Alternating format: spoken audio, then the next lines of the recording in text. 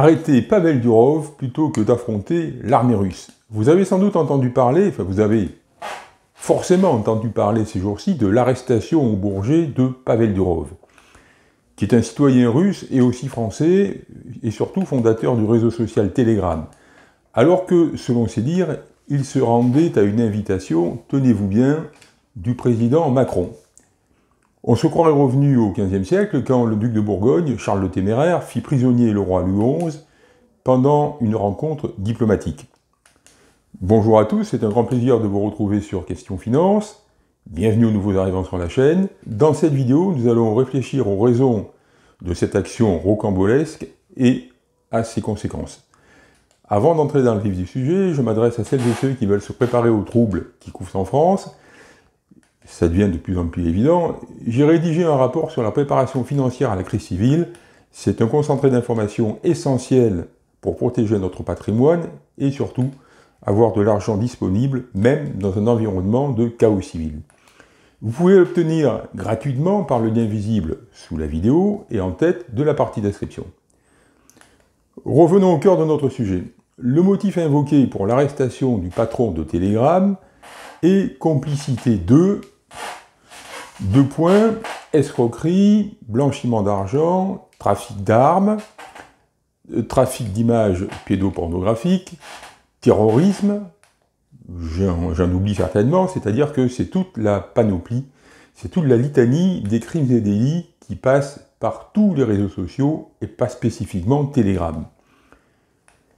Si l'usage des réseaux sociaux par des criminels faisaient de leurs dirigeants des complices, logiquement, les dirigeants de tous les réseaux sociaux devraient aujourd'hui, depuis longtemps, être sous les verrous. On pense en particulier aux plus anciens, comme Mark Zuckerberg, fondateur de Facebook et patron d'Instagram, et de Facebook aussi bien sûr, et d'autres réseaux sociaux euh, sous le nom générique de Meta, de son groupe Meta.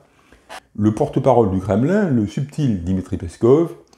qui manie volontiers l'humour. Si vous suivez ses, déclarations ben, depuis qu'il est en fonction, vous avez dû vous en apercevoir, déclarant que, ce qui va de soi, le gouvernement russe suivait de près le sort de M. Durov, qui, rappelons-le, est aussi un citoyen russe, et même plus un citoyen russe qu'un citoyen français, a fait remarquer que les terroristes utilisent aussi des automobiles et que la France devrait donc arrêter les patrons de Renault, Peugeot, euh, Citroën, complicité de terrorisme. Effectivement, c'est marqué au coin du bon sens. Il a parlé des patrons de l'industrie automobile française, il aurait pu parler des patrons de toutes les, de toutes les firmes automobiles mondiales. Cela étant dit, le prétexte à l'arrestation de Durov ne vous rappelle-t-il rien? Bien moi, ça me rappelle que quand la Banque de France a commencé il y a quelques années à préparer les citoyens à la suppression de l'argent liquide, campagne qui est toujours en cours, l'objectif de suppression de l'argent liquide ou de quasi-éradication de l'argent liquide n'a pas officiellement été abandonné, ils nous ont expliqué que le cash était utilisé pour les transactions illégales. En fait, tout le monde sait que le cash ne représente qu'un volume anecdotique, y compris dans les, affaires criminelles. La cause véritable de l'arrestation de Pavel Durov est la particularité de son réseau Particularité qui d'ailleurs est à l'origine de son succès, avec un milliard d'utilisateurs dans le monde. Rappelons que Telegram a été lancé en 2013 par Pavel Durov, avec l'objectif eh de faire un équivalent russe de Facebook, mais en plus libre, et peu censuré, contrairement à Facebook, qui devenait déjà un auxiliaire de la censure du gouvernement et de l'État profond américain caractéristiques de liberté et de sécurité des échanges, grâce à un cryptage de très haut niveau et une modération euh, beaucoup plus souple, beaucoup plus tolérante que ce qui, se faisait sur Facebook, eh bien, ont assuré le succès de ce réseau social. Il permettait à l'époque, il le permet toujours d'ailleurs, à ses usagers, entre autres aux opposants du gouvernement russe, de communiquer entre eux dans l'opacité vis-à-vis des services de surveillance de l'État russe, ce qui fait que Telegram était alors considéré chez nous comme un outil de résistance à, selon l'expression consacrée, l'autoritarisme de Poutine. Et du coup, Pavel Durov était regardé en Occident comme un membre de la jeune génération russe ayant l'Occident comme modèle pour les libertés. Et d'ailleurs, je pense que, effectivement, à l'époque, c'était un regard qui était juste sur Pavel Durov. Pavel Durov faisait partie de ces jeunes gens, très jeunes gens, puisque je crois qu'il a lancé son réseau, il avait, il avait 20 ans, quelque chose comme ça. Euh, évidemment, euh, donc c'est la, génération, euh, la génération bah, post-Union post soviétique, qui, qui, gardait, qui regardait à l'époque encore l'Occident comme bah, l'antithèse de ce qu'avait été l'Union soviétique, même si lui n'a pas connu l'Union soviétique, et, comme, comme des pays au régime nettement plus libéraux que ce qu'était à l'époque le régime de Poutine, même si le régime de Poutine était loin d'être une dictature, contrairement à ce que prétendait notre propagande à cette époque. Déjà, pour les réseaux sociaux en Occident, la pratique était à l'opposé de l'objectif de Telegram, et, à, l'opposé de ce qu'était la pratique de Telegram quand il a lancé. Facebook, Instagram, Twitter et autres, c'était, au cours des années précédentes, et par la suite, coucher devant les gouvernements pour pouvoir exercer leur business, qui du coup cessait d'être des vecteurs de liberté. Alors je ne sais, pas si vous vous rappelez, enfin moi je m'en souviens parce que euh, ben, parce que c'est là que j'avais découvert, en fait, que j'avais compris que le discours libertaire de Facebook était une arnaque, euh, que c'était d'abord une entreprise pour faire du business, du business en surfant sur un certain nombre d'idées un certain nombre d'idées, d'aspirations à la mode, euh, disons dominante en Occident, en particulier aux États-Unis. Donc on nous avait beaucoup parlé de la soumission euh, du, patron de Facebook, Mark Zuckerberg, au gouvernement chinois, euh, bon, qui clairement avait accepté de, bah, de modérer, mettons des guillemets à modérer, puisque c'était carrément de la censure, son réseau en Chine, euh, tel que le lui demandait le gouvernement chinois, euh, plutôt que de, ne pas faire fonctionner son réseau en Chine. Donc les projecteurs étaient à ce moment-là braqués sur les méthodes fort peu libérales du gouvernement chinois, et on avait oublié de nous signaler qu'il était, Facebook était aussi sous le contrôle des agences de renseignement américaines, et qu'en plus, Zuckerberg était un activiste du Parti démocrate, ou en tout cas se comportait comme tel. Alors vous me direz que euh, pour être dans, bien vu des agences de renseignement américaines de manière générale, du gouvernement américain et de l'État profond américain, il valait mieux être du côté des démocrates compte tenu du rôle de, l'emprise du Parti démocrate sur, euh, tous ces, instruments de, contrôle euh, des États-Unis. Il faut d'ailleurs noter, c'est une parenthèse, que récemment, bah, depuis qu'il apparaît que Elon Musk euh, est en train, avec Twitter, est en, train de, ben, de gagner euh, face aux opposants à la liberté qui, qui, sévissent notamment aux États-Unis, et que peut-être le vent tourne. Donc Zuckerberg, ce qui est quand même de sel, lui aussi se présente maintenant comme une victime du Parti démocrate et dit avoir subi euh, depuis des années des pressions du Parti démocrate et du gouvernement américain ou, de la CIA, je crois, la CIA ou enfin, la NSA ou autre chose, euh, sur, euh, ben, pour censurer les publications qu'il y avait sur Facebook dans le sens qu'on lui demandait. Qui est quand même, tout le monde s'en était aperçu. mais le fait que maintenant il l'avoue, c'est quand même quelque chose d'assez significatif sur ce qui est en train de se passer. Revenons euh, dans les années euh, post-2013. Au fil du temps, les scandales démontrant le parti pris et la dépendance des grands réseaux sociaux au pouvoir se sont accumulés. Rappelez-vous, le point d'orgue, enfin, à mon avis, c'est le point d'orgue, a été atteint en 2021 avec la fermeture autoritaire par Facebook, Instagram et Twitter des comptes de Donald Trump au motif en reprenant pour cela les accusations des ennemis de l'ancien président, parmi laquelle, bon, la plus évidemment euh, euh, tonitruante, était euh, de le rendre responsable de l'émeute du Capitole. Alors on ne va pas discuter dans, va pas discuter dans cette vidéo du degré de responsabilité, ben, selon les opinions compris entre 0 et 100% de Trump dans, cette émeute. toujours est-il, ce n'est pas le rôle d'un réseau social de censurer qui que ce soit, en particulier évidemment quelqu'un d'aussi important que l'ancien président des États-Unis, euh, sur la base de simples accusations, euh, puisqu'à l'époque où il l'a fait, euh, rien n'était démontré, le procès n'avait pas, abouti, je ne sais même pas s'il avait commencé, et depuis d'ailleurs, la culpabilité de Trump n'est pas véritablement, établie. Alors ce rapide, ce rapide historique, montre à quel point les réseaux sociaux sont depuis des années un enjeu essentiel de domination pour les pouvoirs et un enjeu essentiel de liberté d'expression pour les individus, les individus et les sociétés civiles. Et ce, dans tous les pays. Et dans ce bras de fer au centre duquel se trouvent les réseaux sociaux, il y en a un qui, se trouve particulièrement euh, au cœur du sujet, particulièrement important, eh bien c'est Telegram. C'est Telegram depuis la guerre en Ukraine. Pourquoi le rôle de Telegram dans cette guerre en Ukraine est-il plus névralgique que les autres réseaux sociaux? Sauf peut-être euh, Twitter, depuis que Twitter a été repris à main et, assaini par Elon Musk, c'est que, sans doute, en raison de la protection des utilisateurs grâce au, cryptage très performant de Telegram, et la faible modération de ces contenus. Je, vous dirai un petit peu plus loin ce qu'il faut comprendre par,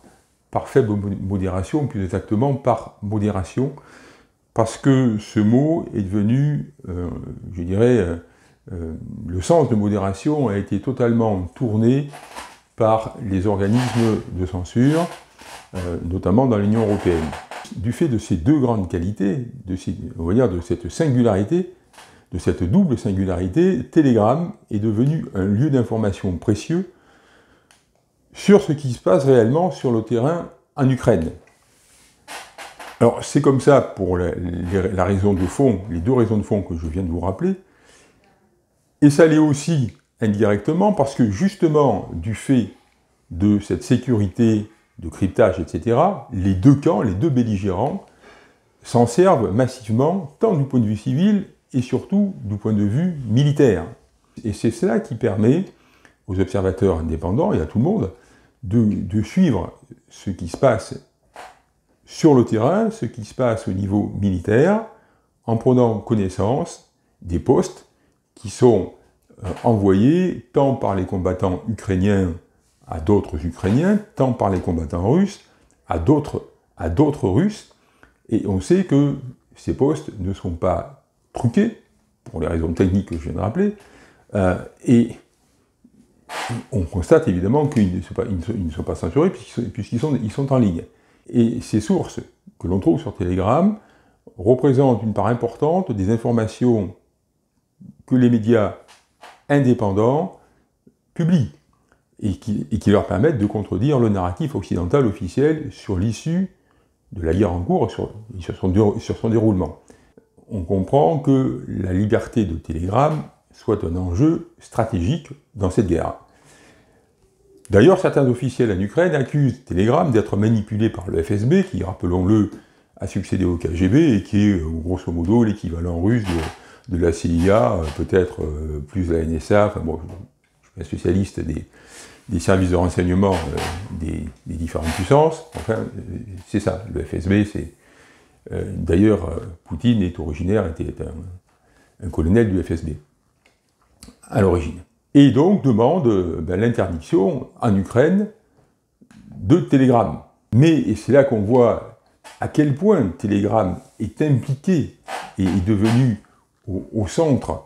du point de vue informationnel de ce, de ce conflit, c'est que l'armée ukrainienne se sert tellement de Telegram que fermer Telegram en Ukraine, ça serait priver l'armée ukrainienne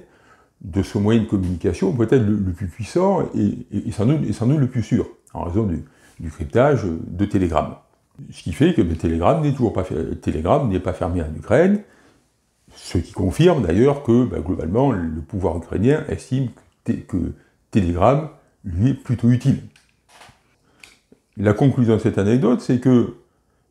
chez nous, en Occident, Telegram, longtemps regardé comme ami, tant que les Occidentaux espéraient, et la suite a montré que c'était un espoir totalement vain, que ce réseau social pourrait mettre Poutine en difficulté, devient maintenant ennemi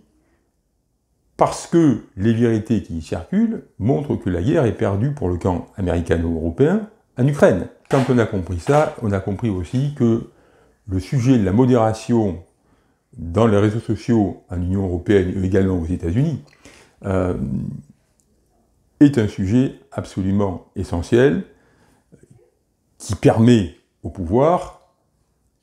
de diffuser leur narratif et donc d'empêcher, si la modération telle qu'ils l'entendent, on, va voir ce que c'est, est appliquée, et d'empêcher la euh, dernière source d'information réelle pour la population. Alors la modération, c'est quoi? Eh Bien sous le prétexte incontestable d'éliminer les contenus toxiques évidents pour tout le monde, comme euh, la violence, les appels au meurtre, ou, l'apologie du terrorisme, le racisme, euh, tout ce qu'on veut, l'antisémitisme, enfin la, liste des choses euh, que la morale, le bon sens, l'intérêt de la société réprouvent est relativement importante. en Europe,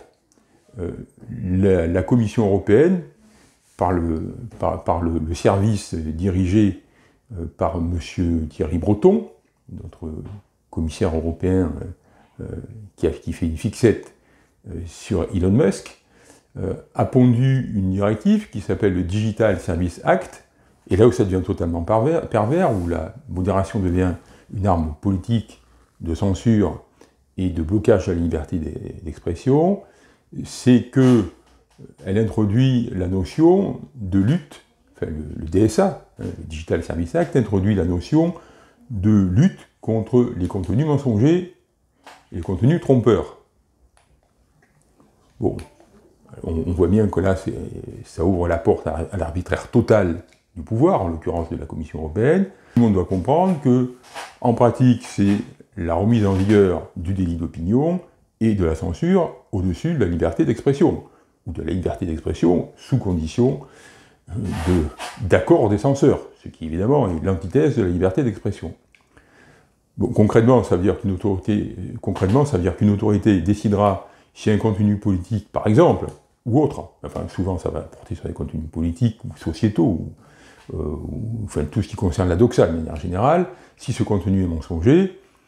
on sait déjà que le contenu sera systématiquement considéré mensonger, euh, lorsque ils ne plairont pas aux censeurs. Et on sait de quel côté sont les censeurs, ils sont évidemment, du côté des pouvoirs, d'ailleurs ils sont payés par les pouvoirs, euh, et, notamment ils sont opposés à toutes les idées euh, qui pourraient entraîner, faire germer dans la tête des populations la contestation de ces pouvoirs et des bases sur lesquelles ils reposent. C'est certainement pour cette raison que certains imaginent que l'objectif de l'arrestation de M. Durov, euh, qui, s'est fait cueillir en descendant de son avion au Bourget, serait de le forcer à se soumettre au DSA. Donc en l'occurrence, de transformer Telegram en instrument de la propagande européenne pro-ukrainienne. La méthode manquerait de finesse et le coup de force contre la liberté d'expression serait évident. Au point où en sont ceux qui considère maintenant le réseau social Telegram comme un ennemi, au point de, on dire, de, panique et de perte de sens des réalités où en sont ces gens-là, à commencer par Macron, mais surtout ceux qui, qui se cachent derrière lui, il n'est pas invraisemblable, invraisemblable qu'ils en, en, soient maintenant à euh, faire des actions aussi grossières. Ce qui est certain est que Telegram soit ou non sous la coupe du FSB, en faisant connaître quotidiennement ce qui se passe sur le champ de bataille, donc les difficultés et les revers de l'armée ukrainienne, comme les avancées de l'armée russe, il est de fait un allié, même involontaire, du gouvernement russe. Ce contexte fait que l'arrestation en France de Pavel Durov, dans ce qui ressemble fort à un piège tendu par Emmanuel Macron lui-même, qui est le chef, rappelons-le, qui est le chef d'État européen le plus favorable à la poursuite de la guerre, apparaît comme une initiative principalement hostile à la Russie. Quoi? Bien parce que si Pavel sous la menace d'une incarcération, voire pire, certains estiment que sa vie est en danger, acceptait de mettre son réseau social au service de la propagande de l'Union européenne dans la guerre en Ukraine, ce serait un revers pour la Russie dans le volet informationnel de la guerre entre l'Occident et elle-même qui se joue dans cette guerre.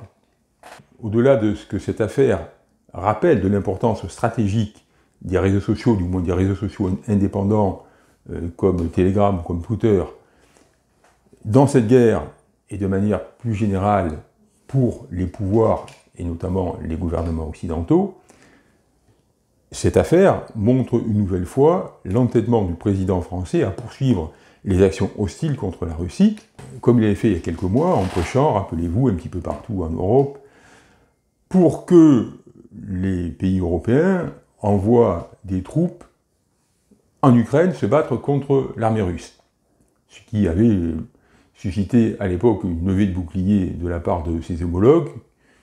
car ils ne sont pas tous fous. Sa nouvelle initiative démonstrative d'hostilité contre, la Russie, ce qui peut-être, espère-t-il, fera de lui le meilleur élève euh, de, la, classe des, vassaux des Américains, euh, ben, il, a, choisi un moyen plus consensuel dans l'Union européenne, c'est-à-dire faire taire un réseau social coupable de deux crimes aux yeux de la Commission européenne. Le premier qui est de refuser de devenir un auxiliaire de la censure, et le second qui est d'être un espace de liberté dont l'effet est actuellement de démontrer le narratif mensonger des pouvoirs de l'Union européenne sur la guerre en Ukraine. Peut-être a-t-il enfin compris que la guerre directe contre l'armée russe en Ukraine amènerait la guerre de la Russie contre la France, ce qui, au vu des puissances militaires respectives de la France et de la Russie, en particulier depuis que la Russie a relancé complètement son, industrie de guerre, et, on voit l'énormité des moyens maintenant qui se déchaînent en Ukraine, est une perspective beaucoup plus grave que de décider si, enfin, ce qui serait une perspective beaucoup plus grave que de décider si finalement il nommera comme Premier ministre Madame Castex, euh, Monsieur Cazeneuve, le directeur général de la Maïf. Maintenant, il y a un autre individu euh, parfaitement inconnu euh, qui, serait sur, sur, sa liste. Enfin, passons sur le caractère hautement comique de, cette affaire. Pour, le, pour, les sujets qui concernent la guerre contre la Russie, contrairement au, burlesque dans lequel sombre maintenant la politique française, on est dans des choses extrêmement graves avec lesquelles on ne peut pas faire n'importe quoi. Si vous avez aimé cette vidéo, n'hésitez pas à liker, partager, la diffuser sur vos réseaux sociaux, c'est très important, au risque de me répéter, comme tous mes petits camarades des chaînes YouTube, et en particulier sur notre chaîne Question Finance, ces actions que je de vous rappeler sont particulièrement importantes parce que, vous l'avez remarqué, les, les idées qu'elle véhicule sont des idées indépendantes et opposées à la doxa, et c'est pour ça que vous l'appréciez. Et euh, eh bien, ces idées, euh, la censure étant scalée, ces idées freinent évidemment son développement sur YouTube, c'est-à-dire que les algorithmes euh, sont ben, paramétrés pour que, en vertu d'un certain nombre de mots, de mots-clés, d'expressions clés, et je ne sais quoi d'autre encore, euh, les chaînes dont le discours n'est pas dans les petits papiers euh, de la censure euh, ne bénéficient pas de l'exposition qu'elles devraient avoir. Sûr, c'est le prix de notre indépendance et de la liberté. C'est pour ça que vos abonnements et réabonnements sont absolument indispensables pour compenser cette pénalisation. Pour notifier la prochaine diffusion, vous avez l'icône d'abonnement en bas à droite de la vidéo ou le lien visible sous la vidéo. Portez-vous bien, merci de votre attention, à bientôt